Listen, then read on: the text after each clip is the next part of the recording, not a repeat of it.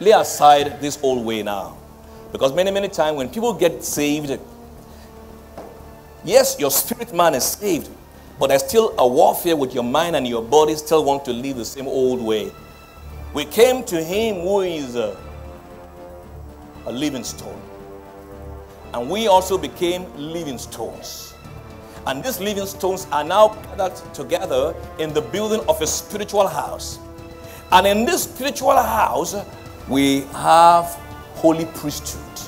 There is an increase of carnality in the church today. Without, because there is no room for the Holy Spirit. That's why the, the devil will rather just have people just gather just for gathering's sake. This is a spiritual house that I'm raising with spiritual stones. And these spiritual stones will constitute the spiritual house where my spirit will indwell. And in that house, there will be holy priesthood.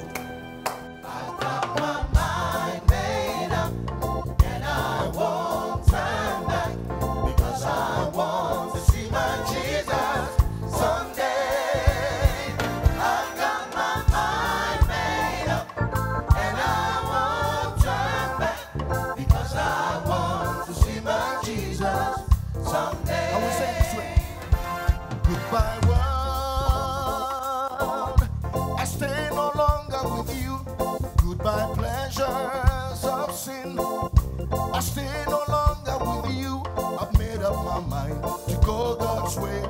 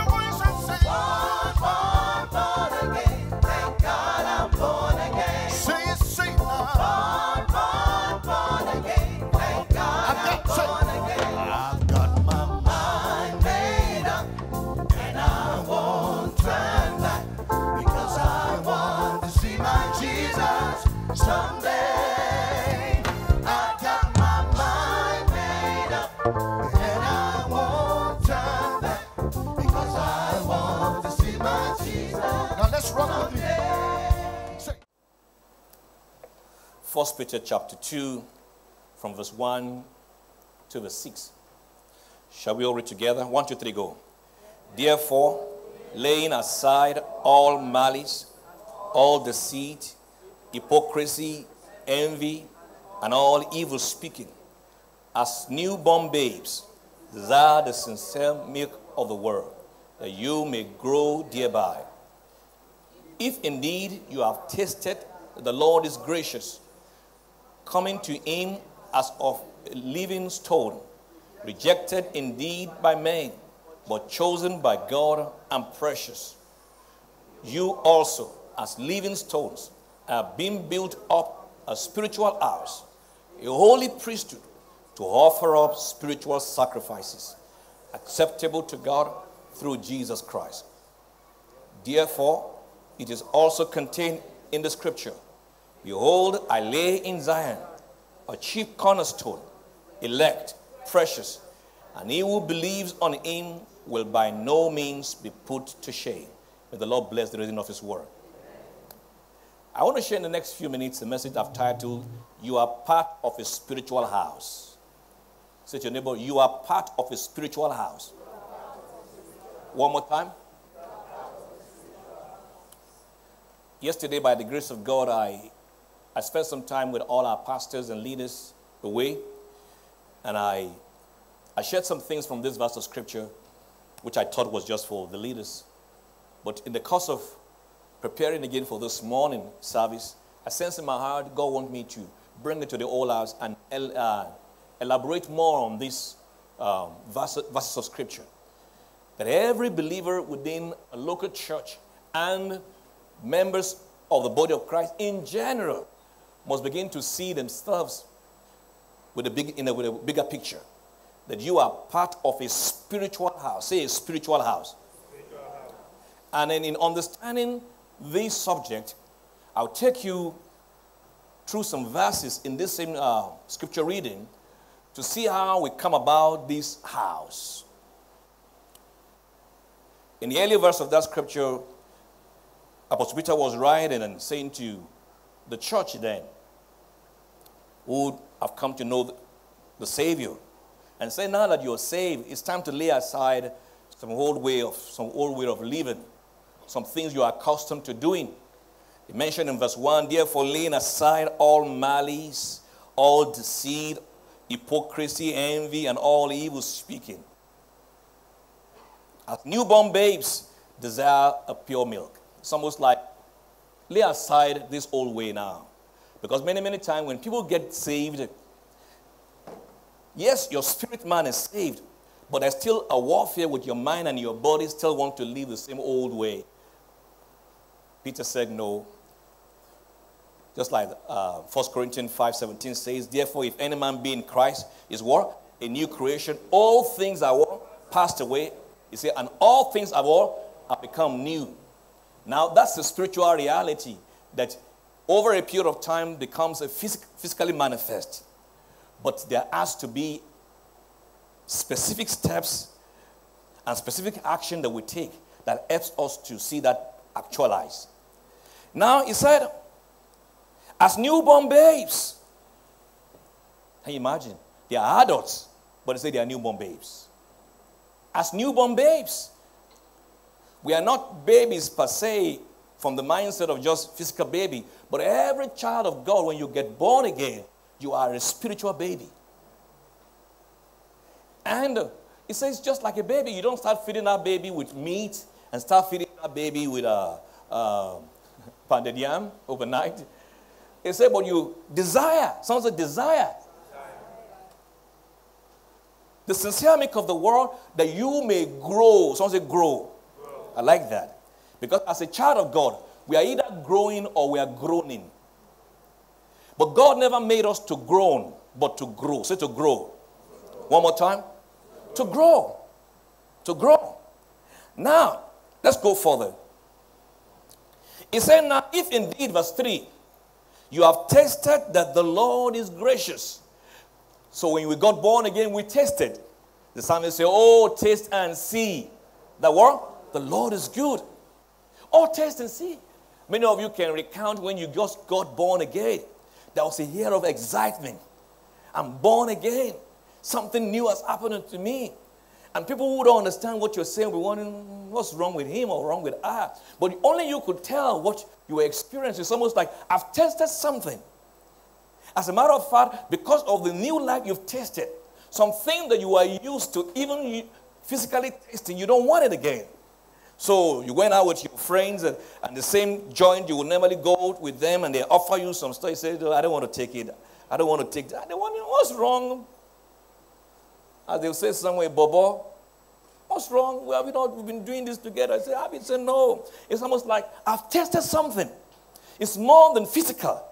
And that which I've tested is even informing my test.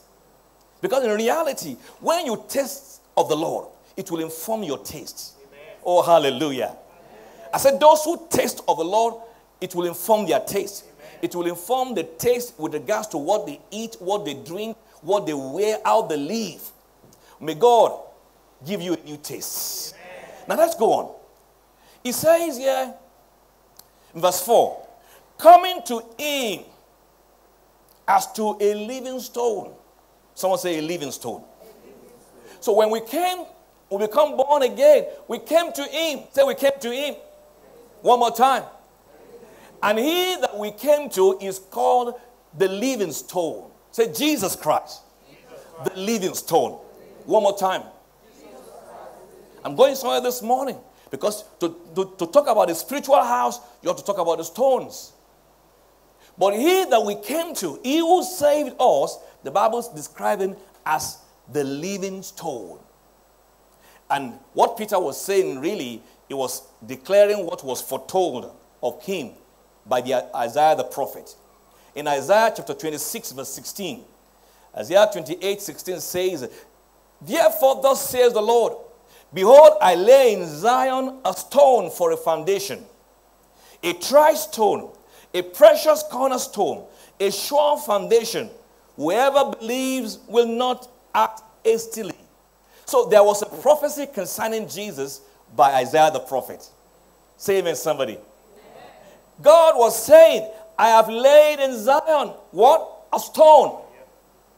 For what? A foundation. Say a stone. For a foundation. What do you use a foundation for? What do you use a foundation for? To build a house. A foundation is laid for what? To build a house. So God was saying through his prophet, I'm about to build a house, but I need to lay a foundation. But I've laid in Zion a stone. So when we came to him, we came to Jesus, who is the living stone. Say, Jesus, the living stone.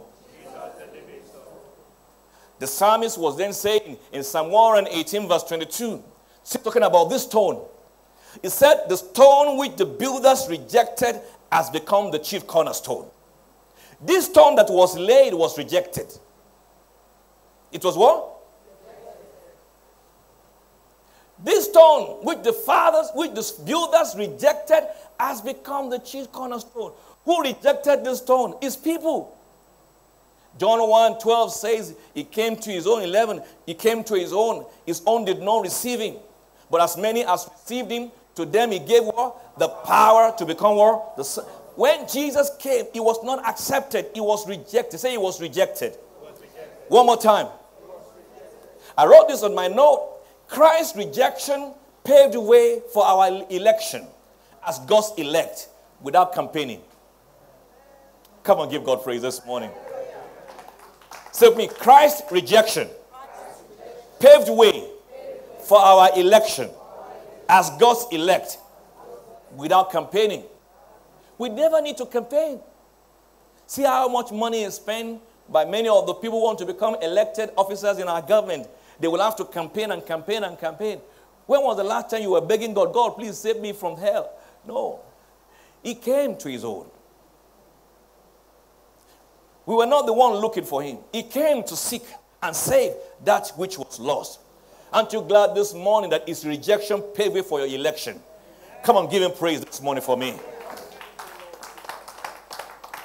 And this is it. When we came to Jesus, the living stone, we were also shaped into living stones. Say, so we came to the living stone, and we were shaped into living stones. Don't forget, a stone was laid, a chief cornerstone was laid for a foundation for a building. And you don't just use one stone to build, you need many stones. Look at that scripture. In First Peter, verse 4. It says there, coming to him as what? To a living stone. Say, coming to him as to what? The Bible is describing Christ as a stone. Him. I mean, when was the last time you saw stone and say, hello, stone? But it was symbolizing of Christ. Coming to him as to a living stone comma, rejected indeed by man, but chosen by God. Precious. So when we came to him, in verse 5, he now says, You also are living stones. Coming to him as a living stone, verse 5, you also as living stones. Did you get it? Let me tell you, hello, living stone. Coming to him as a living stone, you also as living stones. So the result of coming to Him is that we are shaped into living stones for the use in the building of a spiritual house. Say, for the building of a spiritual house. One more time. One more time. So when we, con- when we connected with the living stone, we were shaped into living stones. Now, he wants to build a spiritual house. Look at it now. Verse 5. You also, as living stones, are being built. Say, are being built. Oh, hallelujah. Say, are being built. The building is not complete. We are still being built. That's why even when Christ was on the earth, he said, I will, upon this rock, I will build my church. And the gates of hell will not prevail against it. We have been built. Built up as a spiritual house. Say, built up, as a spiritual house. What makes this house spiritual is the indwelling presence of the Holy Spirit. Say, a spiritual house, inhabited by the Holy Spirit makes it spiritual. One more time.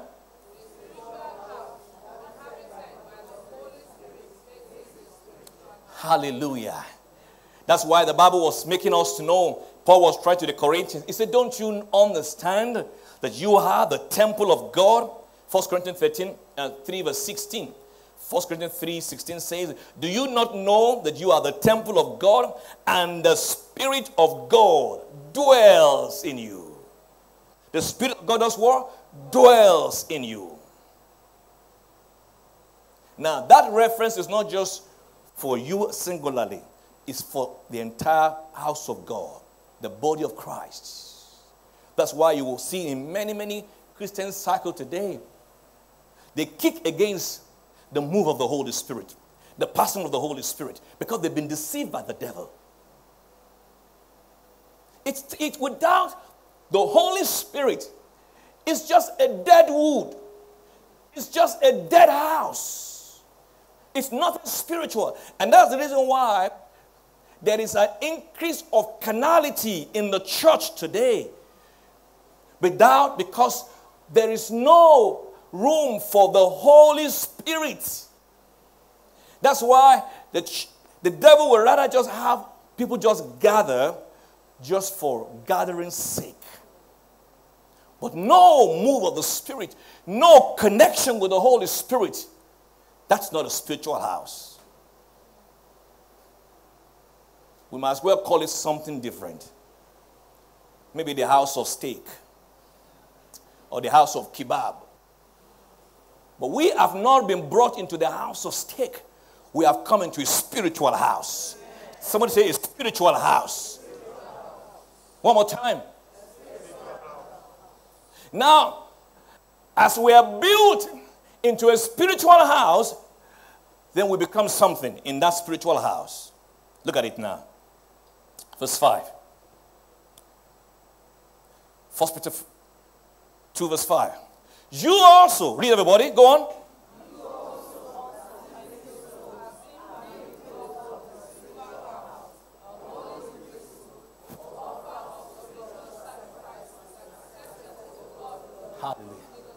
Now let's stop there. See how the trend begins. We came to him who is a, a living stone. And we also became living stones.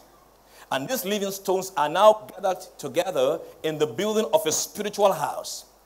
And in this spiritual house, look at it now. We have holy priesthood. We have what? One more time. A holy priesthood. In the Old Testament, when people hear the word priest, they only just think of the priest that went into the tabernacle once in a year with one animal in his hand to offer sacrifice on behalf of the sin of the people. And while he's going to the tabernacle, they have to tie a chain by his feet should in case he mess up. and he got knocked down by God's glory and he dies in that place. But not again in the New Testament. Because all this priest does year in and out is to go in and offer a sacrifice and slaughter this animal so they can place the blood right in the tabernacle in the holy place. But Jesus Christ Himself, our high priest, offered His blood. Because now the tabernacle is no longer just a tabernacle built with human hands. The tabernacle now is His church. I said the tabernacle now is what? And ladies and gentlemen, on the altar in this tabernacle is no longer blood of bulls or blood of goat. It's the blood of the Lamb himself. Because his blood was sprinkled on the mercy seat. Now, in place of the priest that went in and out, guess who are the priests now? We are the priests. Tell neighbor, hello, priests. Hello. One more time. Hello, Both the laymen and all the ordained ministers. We are all priests because now we understand the priesthood of believers. Let's go on. You also, verse 5, as living stones, are being built up a spiritual house, a holy priesthood. Say a holy priesthood. One more time. So the question is it we have become this holy priesthood to offer up spiritual sacrifices. Oh, hallelujah. Say a holy priesthood to offer up. What do they offer up? One more time. Spiritual sacrifices. The priest in the New Testament was offering some sacrifices. It was a sacrifice of bulls and ram that he did year in, year out. He said, But not again. This is a spiritual house that I'm raising with spiritual stones. And these spiritual stones will constitute spiritual house where my spirit will indwell. And the, in that house, there will be holy priesthood. There'll be what? One more time. I pray all the saints in the church will begin to see themselves that they are priests of God. One more time. They are what? Priest of, Priest of God. Because the devil often makes us, you know, this priesthood is for the man on the altar. Let him do all the preaching, let him do all the spirituals, whatever he does. You can just live your own life, your own self. He's separate. You are separate. No. Both those on the pulpit and those on the pew, they all have a holy priesthood. Say we are all holy priesthood. The question is, don't you understand that for those then who have this calling into the fivefold ministry, the Bible says, to whom much is given, much will be required. But the, but the reality is this everyone is giving something. I say what? One more time. The only difference is that those who are called into the full time ministry, much is given, but much will be required. Much is given. That's why someone like Paul will say, I, I put my body under. Lest after I preach to others, I become a castaway. Because listen, listen to me both those who are in the pew and those on the pulpit, they will also give an account. Don't let the devil fool you and say, you have a lower standard, they have an upper standard, so you can live a lower life. Say, not again. Say, we have all been called, to a higher life in Christ Jesus. Verse 5 You also as living stones, we are not dead stones. So we will not live a dead life. You also, as living stones, are being built up. Built up, not down. You will not go down. We are being built. We are being built. I can't hear you. One more time. One more time. No one wonder Jude then says, But you, beloved, building up yourself in your most holy faith, praying in the Holy Ghost. Building up yourself. No more will the devil break you down. We have been built up. Built up a spiritual house. A spiritual house. A spiritual house. A holy priesthood. For what purpose? To offer up. Say, build up. To offer up. One more time. Up. Offer up what? Spiritual sacrifices.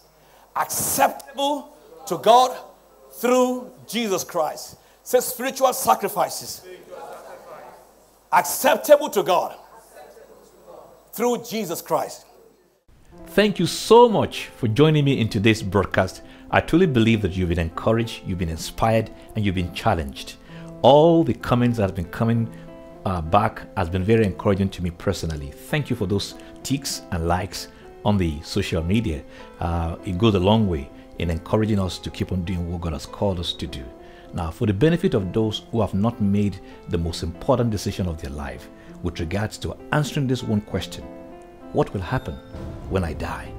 I want to encourage you this day to give your life to Jesus Christ as your Lord and Savior. And it's very simple. A. Acknowledge that you're a sinner. B. Believe that Jesus died for your sin. And C. Confess Him as your Lord and Savior. Ephesians 2 from verse 8 to 9 says, For by grace you have been saved through faith, and that not of yourselves. It says, It's not of works, lest any man should boast. It is the gift of God. You can do the same thing I did as a 12 year old boy many years ago when I gave my life to Christ. And all I had to do was do exactly what the Word of God says in Romans chapter 10 from verse 9 to 10 that if thou wilt confess with your mouth the Lord Jesus and you believe in your heart that Jesus Christ died for your sin, it says you will be saved. For with the mouth a confession is made unto salvation, and with the heart one believes unto righteousness. Now say this prayer with me. Lord Jesus, I acknowledge I am a sinner. Save me. So I confess you with my mouth that you are my Lord and you are my Savior. I believe in my heart that Jesus died for my sin. He was buried. But on the third day, God raised him from the dead. Therefore, I am saved. You know, as simple as this prayer may sound, if you prayed it from your heart, God heard you and you are saved. So I congratulate you for becoming a born again Christian from today. I'll be more than happy to encourage you in this work if you email me or send me a message and I'll be able to get back to you. The next time when I come back through the social media, you keep on winning because God is on your side and you are destined to win. God bless you.